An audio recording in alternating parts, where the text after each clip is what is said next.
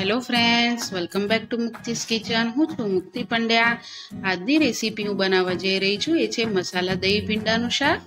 આ શાક સૌને ભાવે એવી રેસીપી છે. તમારા ઘરમાં જો ભીંડાનું શાક ભાવતું ના હોય કોઈને, જો તમે આ રીતે આ શાક બનાવશો, તો બહુ ટેસ્ટી લાગે છે. બનાવવામાં ઇઝી છે. તો ચલો, હવે આપણે શરૂ કરીએ. અને જો મારી રેસીપી તમને જોવી ગમતી હોય તો મારી ચેનલને સબસ્ક્રાઇબ કરજો બે લાઇકન પર ક્લિક કરજો અને મારી ચેનલને શેર કરજો. મસાલા દહીં ભીંડી બનાવવા માટે મેં અહીંયા પાંચસો ગ્રામ જેવા ભીંડા લઈ લીધા છે. તમારે અહીંયા ભીંડા ફ્રેશ લેવાના છે અને સૌથી પહેલાં એને ધોઈને, લૂછીને પછી આવી રીતે કટ કરવાના છે. અહીંયા તમારે થોડાક મોટા એવા કટ કરવાના, નાના એવા કટ નથી કરવાના. હવે આપણે દહીં ભીંડી બનાવીએ. ગેસ ચાલુ કરીને મેં પેન રાખી દીધું છે. પેન ગરમ થાય એટલે આપણે આમાં એડ કરીશું બે ચમચી જેવું સરસોનું તેલ. હું અહીંયા સરસોનું તેલ યુઝ કરું છું. તમારે અહીંયા કોઈ બી તેલ એડ કરવું હોય તો કરી શકો છો.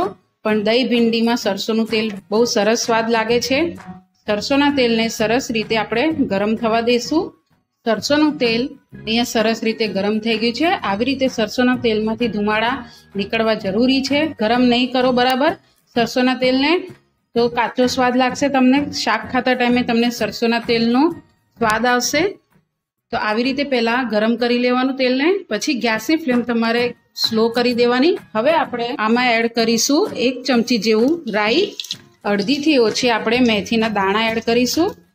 જો તમે મેથીના દાણા ભીંડામાં ન નાખતા હોય તો તમે સ્કીપ કરી શકો છો.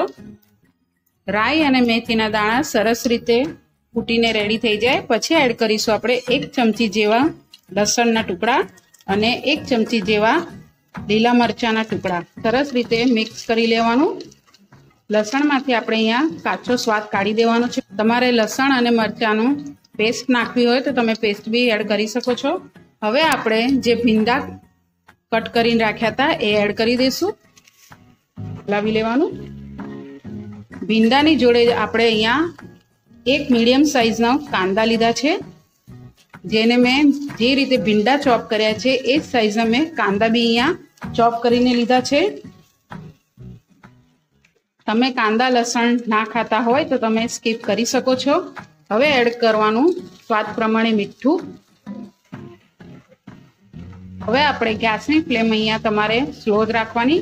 સ્લો ગેસ ઉપર આપણે આને ચારથી પાંચ મિનિટ જેવું આવી રીતે આને ખુલ્લું જ ચડાવવાનું છે. વચ્ચે વચ્ચે હલાવતું રહેવાનું, જેથી શાક તમારું નીચે બેસી ન જાય.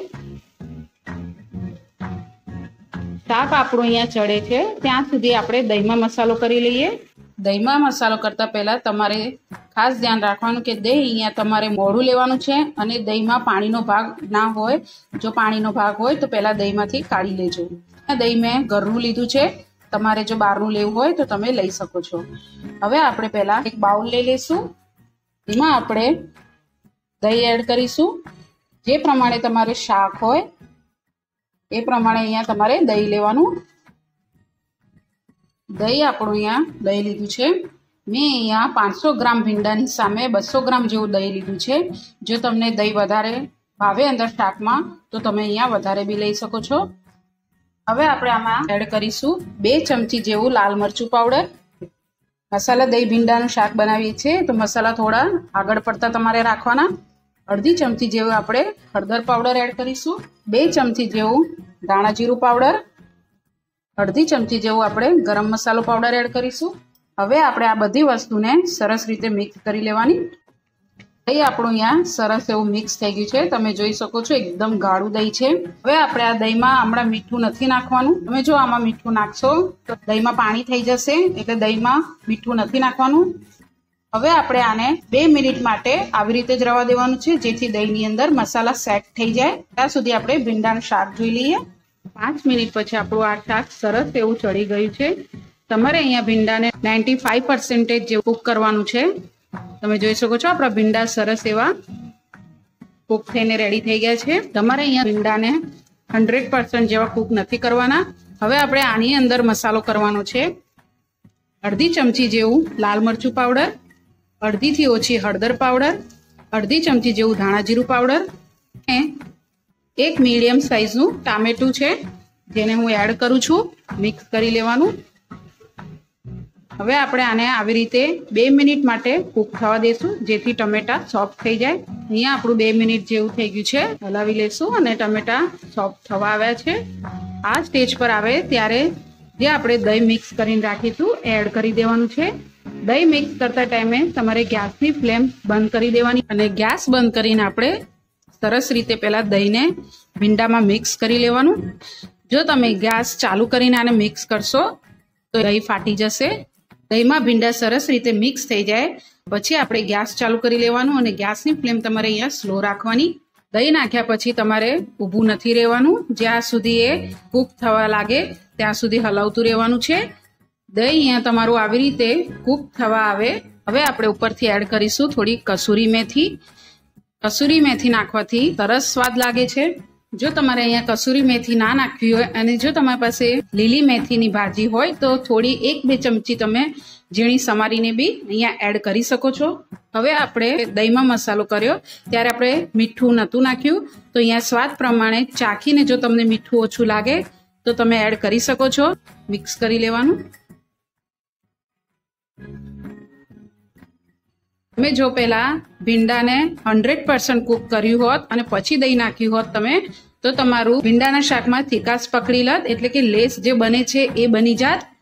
આવી રીતે તમે જો બનાવશો, તો તમારું ભીંડાના શાકમાં લેસ નહીં બને.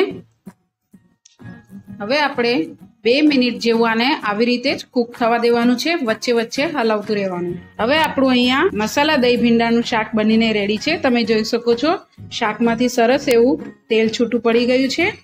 અને દહીં આપણું અહીંયા ફાટ્યું બી નથી. હવે આપણે ગેસની ફ્લેમ અહીંયા બંધ કરી દેવાની. અહીંયા આપણું આ મસાલા દહીં ભીંડાનું શાક બનીને રેડી છે. જોતાની સાથે જ ખાવાની મન થઈ જાય એવું આ શાક બનીને રેડી થાય છે. તમારે જો આ શાક ભાખરી જોડે, રોટલી જોડે કે પછી તમને જેની સાથે ભાવે તમે એની સાથે બી ખાઈ શકો છો. બહુ ટેસ્ટી લાગે છે અને જ્યારે તમે શાક બનાવો ત્યારે આને બહુ મૂકી નહીં રાખવાનું. શાકને જો તમે બહુ મૂકી રાખશો, તો દહીંમાંથી પાણી છૂટશે અને તમારું અહીંયા શાક ચીકણું બની જશે. એટલે કે લેસ બની જશે શાકમાં. જો તમને મારી આવી હરેક નવી રેસીપી જોવી ગમતી હોય, તો મારી ચેનલને સબસ્ક્રાઇબ ના કરી હોય, તો તમે સબસ્ક્રાઇબ જરૂરથી કરજો. બેલ આઇકન પર ક્લિક કરજો, કોમેન્ટ્સ બોક્સમાં જણાવજો લાઈક કરજો અને શેર કરજો મારી ચેનલને. Thank you.